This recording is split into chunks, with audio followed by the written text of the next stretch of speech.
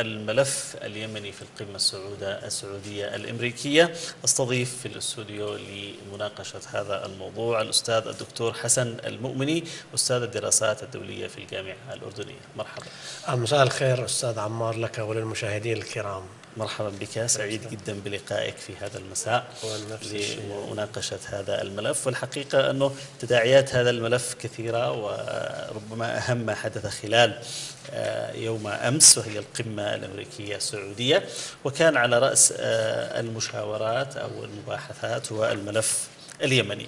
هذه القمة يعني عندما نتحدث عن أهمية انعقادها في مثل هذا التوقيت والمنطقة لديها الكثير من الملفات الملفات الساخنة أكثر من أي وقت مضى تقريبا يعني جميعها ترتبط ارتباطا وثيقا بتدخلات خارجية سواء على مستوى الداخل العربي والشرق الأوسطي أو على مستوى المنظومة الدولية الفاعلة يعني والمؤثرة يعني ما أهمية انعقاد هذه القمة في مثل هذا التوقيت؟ هو حقيقة أهميتها تنبع من العلاقات الثنائية السعودية الأمريكية. أنت تعلم أن السعودية والولايات المتحدة الأمريكية ترتبط يعني في في علاقات استراتيجية منذ ما بعد الحرب العالمية الثانية نعم وفي هنالك اعتمادية متبادلة سواء في الموضوع الاقتصادي في الموضوع الأمني في التعاون السياسي وغيره في كل هذه الجوانب فأهميتها في الأساس بتصب في العلاقات الثنائية اللي تقريبا منذ عام 2011 بدأ في نوع من التباين بين السعودية وبين الولايات المتحدة الأمريكية حول كثير من المنا... من من قضايا المنطقة. نعم. الأهمية الأخرى أنها أيضا جاءت في سياق تحرك دبلوماسي نشط شهدته المنطقة. آه، هذا التحرك السياسي النشط آه، سواء كان ما بعد الاتفاق النووي مع إيران سواء كان التحرك الدبلوماسي لحلحله بعض من مشاكل المنطقة في موضوع اليمن في موضوع سوريا في موضوع العراق وكل هذه الجوانب.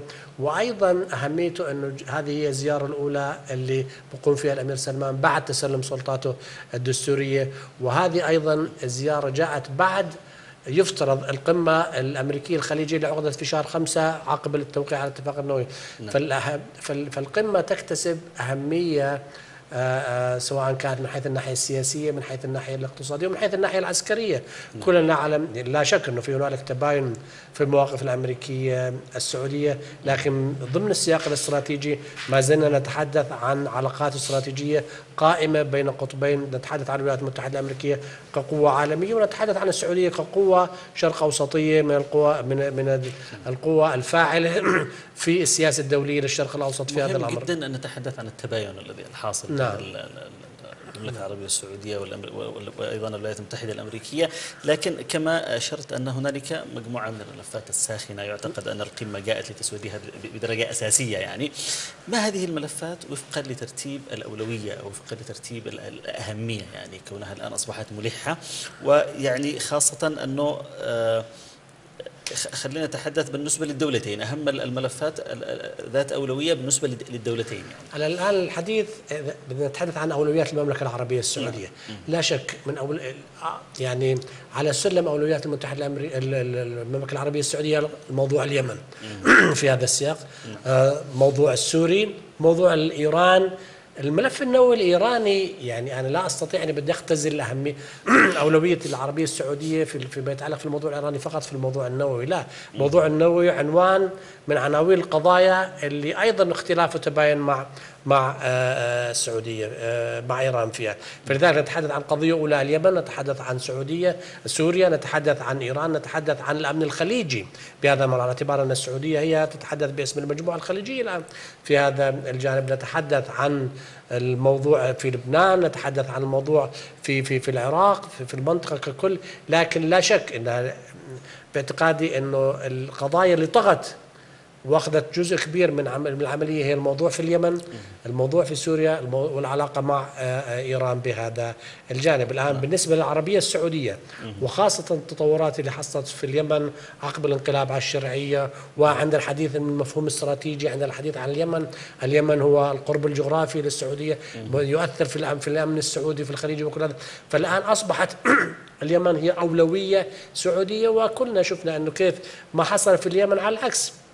أدى إلى تغيير في السياسة الخارجية السعودية، سياسة كانت آه، ترتكز إلى إلى حد ما على التروي على آه، الاعتدال، الآن نتحدث عن سياسة خارجية سعودية أكثر نشاطا وأخذت زمام المبادرة وبدأت يعني يعني أستطيع أني أصفها آه، يعني سياسة الاعتماد على الذات بهذا الأمر طبيعي بالنسبة للولايات المتحدة الأمريكية عند الحديث عن الشرق الأوسط يعني السياسة الخارجية الأمريكية منذ عام 2011 إلى حد الآن قضية جدلية بالنسبة لل, لل... لل... خلينا نحكي لدول الشرق الأوسط وحتى بالنسبة داخل الولايات المتحدة الأمريكية، سياسة خارجية أمريكية عندما أوباما انتخب انتخب على أساس إنه آه، سوف يقوم بإنهاء التدخلات الخارجية للولايات المتحدة الأمريكية في المنطقة، الانسحاب من العراق، الانسحاب من أفغانستان وكذا، فلذلك السياسة الخارجية الأمريكية خاصة إدارة أوباما اتسمت بالانسحاب التدريجي، اتسمت بالتردد وأيضا في كثير طبيعي من بينتقدها إنها سياسي إلى حد ما فقدت مصداقيتها في التعاطي مع الموضوع العراقي مع الموضوع السوري وغيره في هذا الجوانب.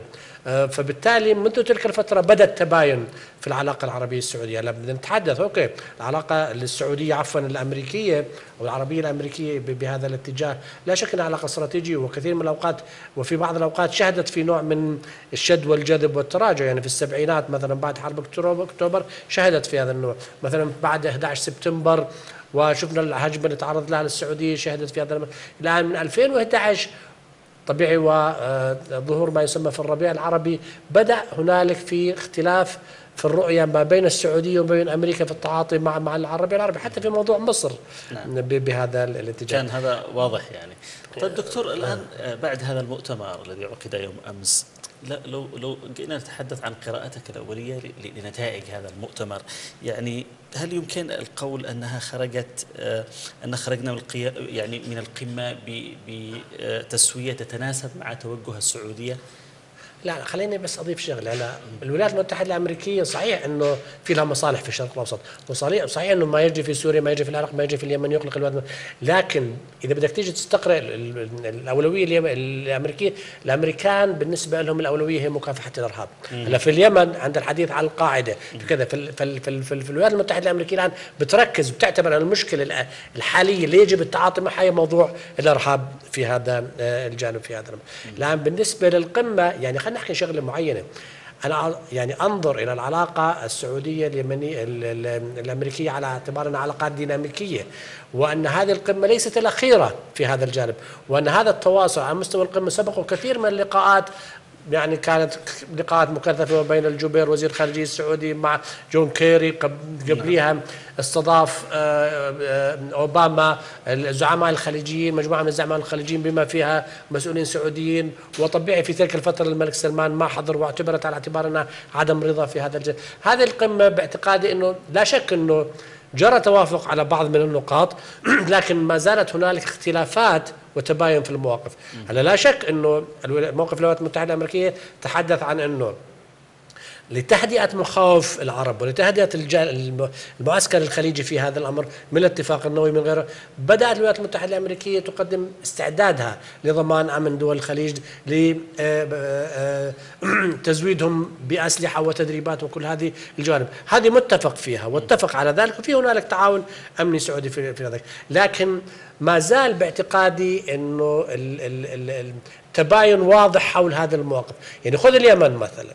اليمن العربية السعودية. معذرة آه. قبل أن نبدأ في الملف اليمني اللي آه. موضوع هذه آه. الحلقة يبدو هنالك اتصال يا شباب عشان نتحدث أيضا آه، أكثر تفصيل عن هذا الموضوع. مداخلة من الدكتور علي العنيزي عضو مجلس الشورى السعودي السابق. السلام عليكم. في عندنا اتصال يا شباب. مرحبا. ألو؟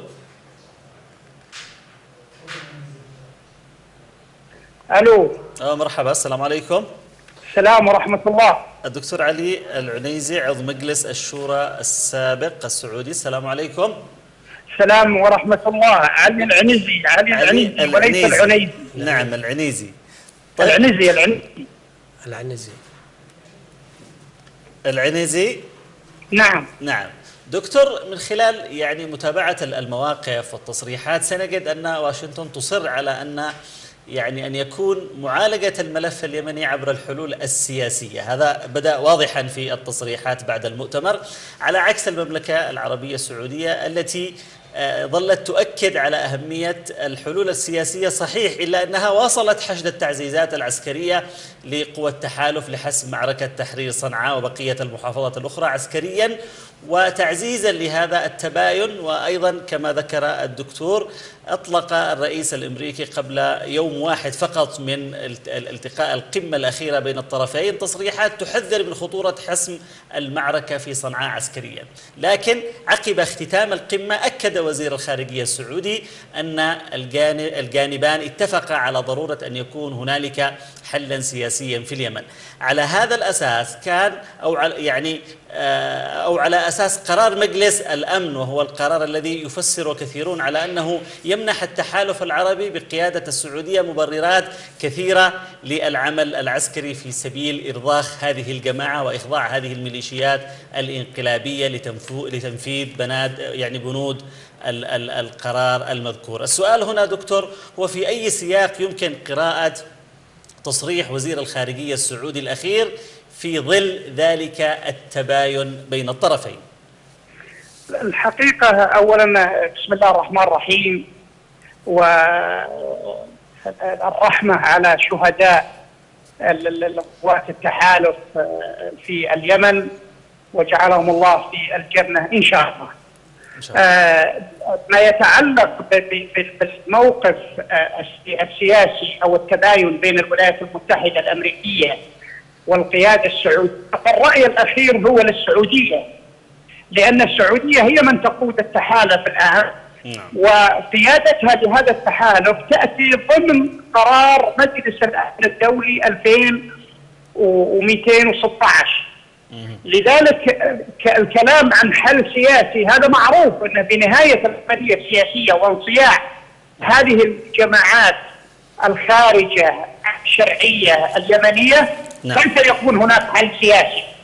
أنا أعتقد والعديد من المحللين يؤكدون أن الحل الحسم العسكري سوف يأخذ حل سياسي وهذا شيء منطقي. نعم.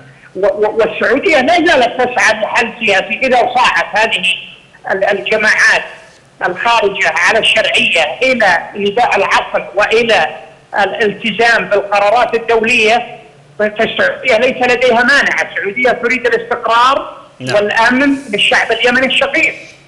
اذا نعم. اذا التباين في الرؤية هو ليس في في قضية إخراج هذه الجماعات وتنفيذ قرارات مجلس الأمن الدولي وأهداف التحالف هو إن المشروع السياسي بالنهاية حيكون لليمن بعد أن تلتزم هذه الجماعات أو تخرج هذه الجماعات من مؤسسات الدولة وتكون مكون من ضمن مكونات الشعب وتحت قيادة الشرعية وتحت راية الشرعية اليمنية. نعم. طيب هناك من يقرأ تلك التصريحات على أنها تفسير نجاح المملكة العربية السعودية في تخفيف حدة الموقف الأمريكي في هذا ال ال ال في هذا الملف لمصلحة مواصلة استعداداتها وتجهيزاتها للحسم العسكري. هل هذه قراءة صحيحة لمخرجات هذا المؤتمر؟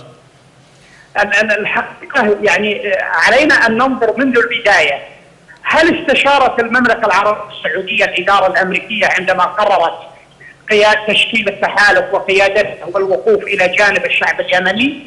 ابدا المملكة العربية السعودية لم تستشر الولايات المتحدة بل حزمت أمرها وحسمت أمرها واتكلت على اراده على الله في البداية وعلى إرادة شعبها وإرادة الشعب اليمني.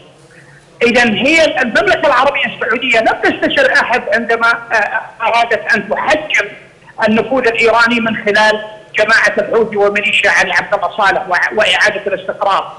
لذلك الموقف الأمريكي يأتي بعد الموقف السعودي والسعودية هي صاحبة الكلام والقرار الأول في اليمن.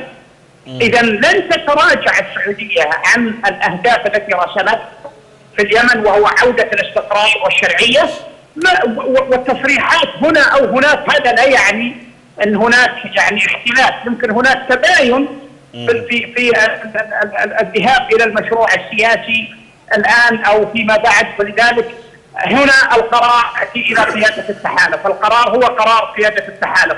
وليس قرار الولايات المتحدة أو قرار مجلس الأمن الدولي. إذن- مجلس إذن دكتور- دكتور لو سألتك- والسعودية.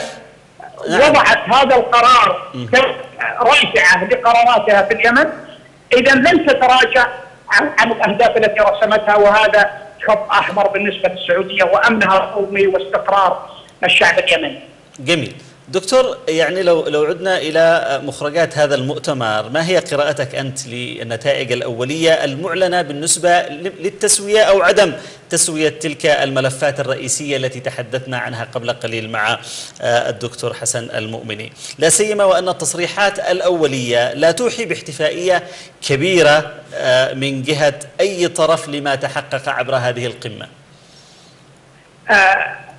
أنا أعتقد طبعا القراءة العامة لل- للزيارة وللمؤتمر الذي حصل آه، من قبل لقاء الزعيمين آه، خادم الحرمين الشريفين والرئيس الأمريكي.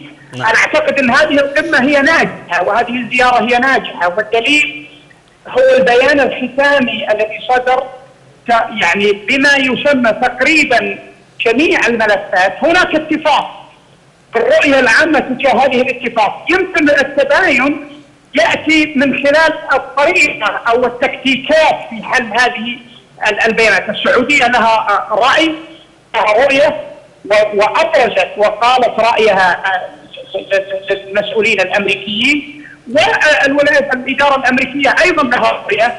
ولكن في الأخير ال- ال- ال- ال- ال- ال- القيادتين يهمهما استقرار المنطقة وخروج المنطقة من هذا المأزق وهذا المستنقع الذي دخلت فيه منذ بدء ما يسمى بالربيع العربي. نعم. آه، إذن من وجهة نظري ال- الاختلاف لا نستطيع أن نقول أن الاختلاف في الرؤية ولا ولكن ربما في, في الآلية فقط. لسياسة قادمة أو لعلاقات راسخة بين آه، آه، الجهتين سواء بين الطرفين أو فيما يتعلق بالمنطقة. لأن لأن المملكة العربية السعودية هي مهمة في حل قضايا المنطقة وأيضا الولايات المتحدة هي اللاعب الأكبر في السياسة الدولية. إذا الدكتور علي العنيزي عضو مجلس الشورى السعودي السابق. أشكرك شكرا جزيلا على هذه المداخلة وأعود إلى الاستوديو وإلى ضيفي الأستاذ الدكتور حسن المؤمني أستاذ الدراسات الدولية في الجامعة الأردنية. ليتحدث بشكل أكثر تفصيل ولكن يبدو أن ال- الوقت يزحف علينا ولهذا سنتحدث عن موضوع الحلقة أكثر. طيب إذا انتقلنا إلى الحديث عن الملف اليمني بالخصوص. سنلاحظ من خلال بعض آه، يعني آه، مواقف وتصريحات الإدارة الأمريكية ومسؤوليها أيضا أن ثم خلافات كما ذكر ال- الدكتور وكما أشرت أنت قبل قليل أو تباين بين الجانبين. بدأت بشأن كيفية التعامل مع هذا الملف منذ البداية منذ بداية آه، تناول هذا الملف. انتهت اليوم بالخلاف بشأن تسوية هذا الملف. طيب من خلال متابعتكم أنتم ما هي أبرز آه، نقاط الخلاف والتباين في هذا الملف؟ يعني أستاذ عمار خليني أوضح شغله أنا بالنسبة لي شخصيا هنالك مشكلة في السياسة الخارجية الأمريكية تجاه المنطقة وبدنا نركز على الموضوع اليمني في هذا الأمر. هلا كل الأطراف بتحكي عن والله عملية سياسية. الحوثيين بيحكوا عن عملية سياسية وبنفس الوقت آه، أخذوا السلطة وغيروا الوضع وكل هذه الجوانب. علي عبد الله صالح الرئيس السابق بيتحدث عن ال- ال- ال- ال- العملية السياسية. أول من دعم العملية السياسية حقيقة هو الدول العربية بالذات مجلس التعاون الخليجي والسعودية في هذا الأمر. وكلنا يذكر المبادرة الخليجية. وكل هذا كل هذه الأمور وأسفرت عن نتائج وتوافق وحصل ال- العملية انتقاليه لكن بعد ذلك جاء الانقلاب من قبل الحوثيين نعم، في هذا. الأمر.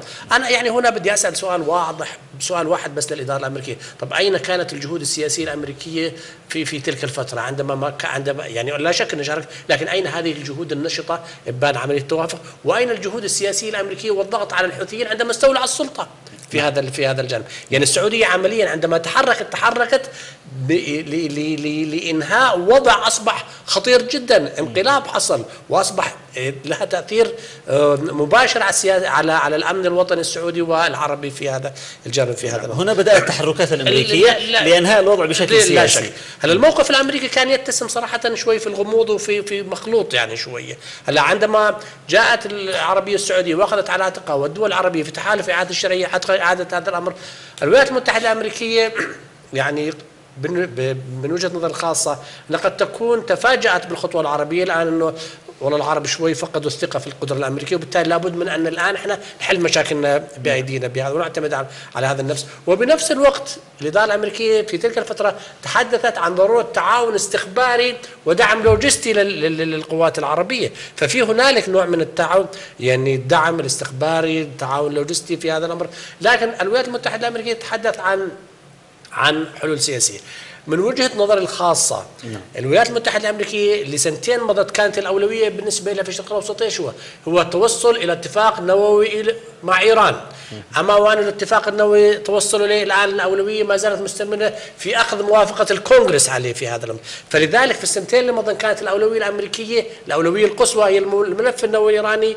مع التعاطي مع المشاكل لم تكن اليمن أولوية بحجم أولوية الملف النووي الإيراني بينما العربية السعودية بالنسبة لها والدول العربية اليمن أولوية نعم. في هذا الأمر الآن بالنسبة للأمريكان يعتقدوا بأن العملية العسكرية من وجهة نظر الخاص أنه سوف يعقد الأمور وسوف يضعف قدرة السعودية في هذا الجانب وسوف أيضا يحدث خلينا نحكي آه، ضرر في الجانب المدني وغيره في هذا الجانب. وهنالك خلينا نحكي لك شغلة معينة. في بعض من المنظمات الدولية وفي بعض كثير من وجانب من الراي العام الأمريكي بدأ يضغط على الإدارة الأمريكية بخصوص الخسائر البشرية الموجوده في اليمن خاصة الإنسانية في هذا الأمر. كثير من التقارير كثير بدأت تتحدث انه والله في خسائر نتيجة لهذا القصف فهذا ففي هذا نوع من من الضغط. الآن نتحدث عن عن عملية سياسية. على الكل بيحكي عن عملية سياسية لكن ما هي آليات تنفيذ هذه العملية السياسية؟ لا أستطيع أن أتحدث عن عملية سياسية بالوقت اللي كان الحوثيين وحلفائهم قد وصلوا إلى عدن وسيطروا على كل شيء. أين هي العملية السياسية؟ ما هو انقلبوا على الشرعية. ثم نتحدث الآن أنت في عملية سياسية أفرزت قيادة معترف فيها على الصعيد اليمني معترف فيه على صعيد الجامعة العربية معترف فيه على آه، الأمم المتحدة في هذا الأمر. يأتي الحوثيين يأتي علي عبد الله صالح بغض النظر عن الثقة وينقلب على, على هذا الأمر. وبالتالي وين بده يكون الحديث عن العملية السياسية؟ ما الطرف اللي مقابل كان استند إلى التصعيد واستند القوة. الآن المنطق العقلاني بيقول إنه لابد من تغيير موازين القوى على الأرض. ارجاع الوضع كالسابق وبالتالي الدخول في عملية سياسية. وذلك لن يكون إلا عن طريق حسم عسكري. بهذا لابد من تصعيد على من وجهه الخاصة لابد طبيعي تصعيد عسكري مدروس. قد قد يكون هو السبيل للوصول إلى إلى تسوية سياسية. آه. ولا يمنع بأنه ضمن هذا التصعيد يكون في هنالك عملية سيا... يتم خلق عملية سياسية آه متعامدة مع هذا التصعيد في هذا الان خذ في سوريا. أنت تتحدث عن صراع معقد في سوريا وبنفس الوقت في جهود كثيرة من أجل بناء عملية سياسية. نعم. لماذا لا يتم تطبيق هذا الوضع في, في, في اليمن؟ أنا من وجهة النظر الخاصة يعني الدول العربية وبالذات العربية السعودية ومجلس التعاون يرغبوا في عملية سياسية ولا ما هم مستثنين الحوثيين أو الأطراف الثانية لأن الحوثيين شاركوا في, في, في تلك الفترة. لكن لابد من إرجاع الوضع للسابق وبالتالي إطلاق لا تستطيع أن تحدث عملية سياسية واليمن كلها تحت سيطرة الحوثيين والمجموعات في في هذا نعم. في هذا الجانب. أيضا الولايات المتحدة الأمريكية لا نستطيع يعني ليس بالضرورة نحكي شغلة معينة ليس بالضرورة أن يكون هناك تطابق أمريكي آه، عربي أو تطابق أمريكي سعودي حتى بالتالي والله نحل في اليمن في هذا بمعنى كيف؟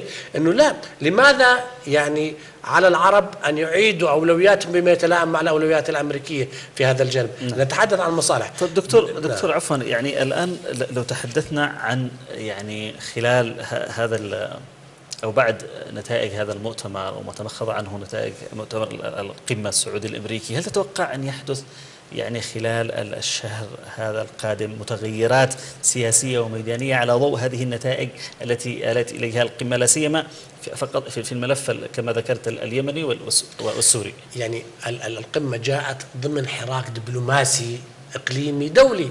لا أستطيع أن يعني يعني أفصل ما جرى بالقمة عن المجمل العام للحراك الدبلوماسي اللي حصل. كلنا نعلم في هنالك حراك دبلوماسي سياسي باتجاه السعودية باتجاه سوريا باتجاه العراق باتجاه اليمن خاصة بعد توقيع الاتفاق. كثير الأمريكان يعتقدوا بأنه توقيع الاتفاق مع إيران سوف يفتح الطريق أمام تسويات أخرى. على اعتبار أن أيضا جزء من تعقيد الصراع اللي حاصل في المنطقة أنه صراع قوى إقليمية وحروب بالو... بال... بال... بال... بال... بال... بالوكالة. وشفنا كيف إيران بذلت جهد في محاولة أنها أنها تشرح سياستها وتقدم الاتفاق. وزار وزير الخارجية الإيراني ثلاث عواصم خارجيه في هذا الأمر ويتحدث وكل هذا الأمر. الامريكان روسيا دخلت داخلة على الخط بقوة من خلال طبيعي لخدمة مصالحها في هذا الأمر. ففي حراك فالموضوع يعني القمة السعودية يجب أن تفهم على أنها استمرار للتنسيق الثنائي السعودي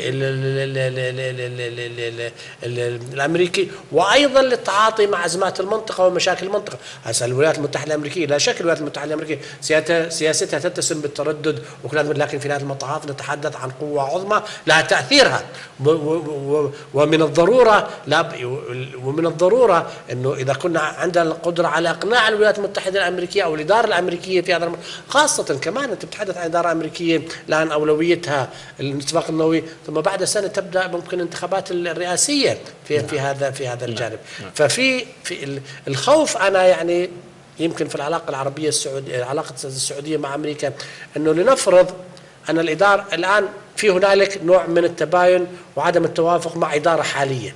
ماذا تبين؟ ماذا لو تبين؟ انه الإدارة القادمة أيضا استمرت في هذا النهج حينها أعتقد أنه ستصبح في مشكلة في العلاقة العربية السعودية مع الولايات المتحدة الأمريكية نعم. في هذا دكتور الحقيقة أنا كنت أريد أن أفصل معك في هذا الموضوع.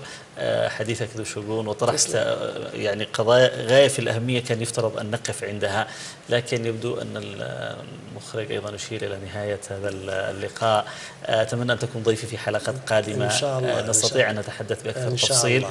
أشكرك شكرا جزيلا. الأستاذ الدكتور حسن المؤمني أستاذ الدراسات الدولية في الجامعة الأردنية كان هو ضيفي في هذه التغطية من حديث المنتصف. وأيضا كان الدكتور علي العنيزي عضو مجلس الشورى السابق في المملكة العربية السعودية على الهاتف لنناقش ملف آه، اليمن في آه، القمة السعودية الأمريكية. مشاهدينا الكرام سأراكم غدا في نفس هذا التوقيت على الهواء لنفصل أكثر في آخر التطورات على الساحة اليمنية. إلى اللقاء.